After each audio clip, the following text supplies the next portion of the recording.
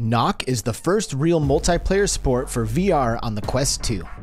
Compete in aerial archery soccer matches from anywhere in the world. With this native Tactsuit integration, you'll be more immersed than ever in this competitive and addicting title. Feel the tension of your bow across your chest and arms as you pull back each shot.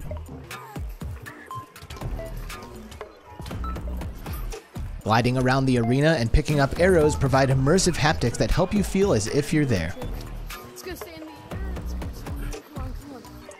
Making contact with the ball or being knocked out also have fun and exciting haptic feedback patterns. Feel the rush as the ball crosses the line and you score another goal for your team.